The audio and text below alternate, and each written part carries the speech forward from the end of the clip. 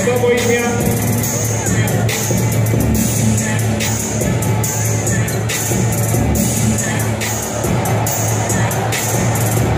Για να δω τι θα δώσετε. Μπορεί και 11, μπορεί και 12. Θανάσης.